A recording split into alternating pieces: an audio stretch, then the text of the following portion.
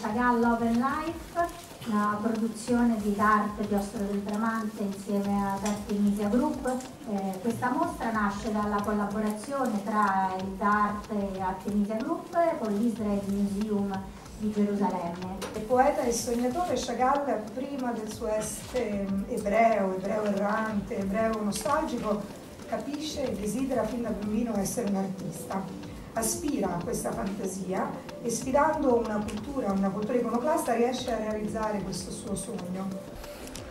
Amore, vita, cultura israeliana, queste sono le parole con cui è stata introdotta nella bellissima ambientazione del Costo del Diamante la mostra dedicata al grande pittore Marc Chagall ed è qui che noi vogliamo portare oggi il pubblico di CNA Web TV al suo interno. Ma prima di entrare, che cosa c'entra allora di Israele con Chagall e soprattutto perché l'ambientazione bielorussa costante all'interno dei suoi disegni, dei luoghi dove lui è nato e che cos'è l'amore per il maestro? Entriamo e domandiamo alla curatrice, la dottoressa Sorek.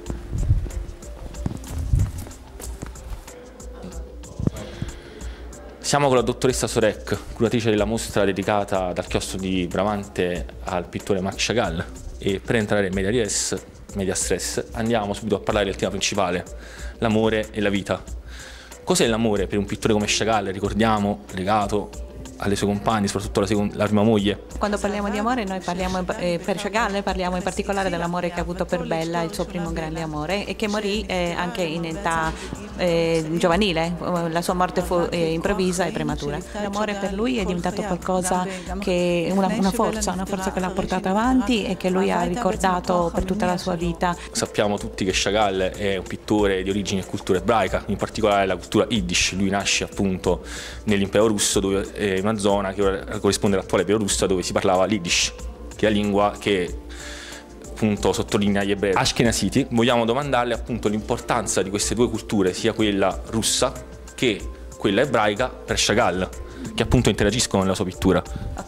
E lui è stato effettivamente un artista internazionale al di là della, di una semplice cittadinanza. e ha vissuto in un secolo in cui ci sono stati dei cambiamenti politici molto radicali che hanno causato dei cambiamenti o hanno, causato, hanno creato dei segni molto particolari su di lui come artista. Chagall ha dovuto vivere per varie vicissitudini in vari paesi, a Parigi, a Berlino e poi negli Stati Uniti e ha portato portato sempre con sé eh, la sua origine ebraica, la sua cultura ebraica e ha cercato di eh, unificare questi concetti eh, che sono stati, che, che, lo hanno accompagnato dalla sua infanzia fino alla fine della sua vita, ehm, cercando di eh, integrarli nella sua eh, cultura internazionale. Diciamo. Lui è riuscito sempre a portare degli elementi ehm, nel, nel suo mondo artistico e gli elementi particolari sono quelli dell'amore e l'amore è amore per la sua terra d'origine origine, quindi per la sua città natale, il suo paese, per eh, la, la, famiglia, per eh, la sua donna e per, per l'arte.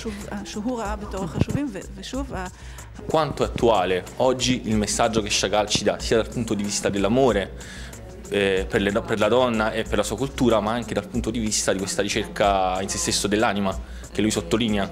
Io cercherò di spiegarvi fino a che punto Chagall è ancora attuale. Sono molto contenta che finalmente oggi possiamo aprire questa mostra qui a Roma, però oggi ho visto nella stampa israeliana e che si parla di Chagall e di un momento in cui eh, nelle, negli anni 60 eh, fu aperto il Museo di Israele.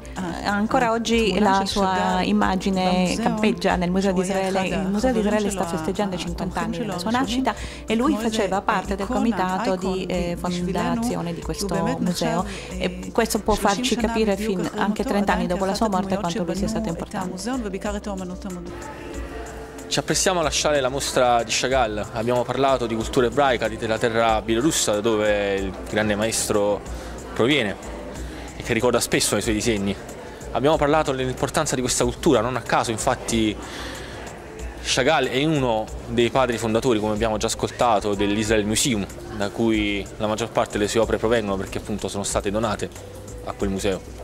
Vogliamo lasciarvi con una riflessione che ricorda il concetto base, uno dei concetti basi della pittura dell'arte di Chagall, l'anima, la chiave di cui ha bisogno l'uomo per entrare in quest'anima e discutere e comprendere i temi principali, in questo caso l'amore e la vita. Una chiave che può essere ancora attuale, ancora oggigiorno, è sempre utile riflettere e collocare noi stessi nel nostro contesto, nella nostra realtà. Restate con noi.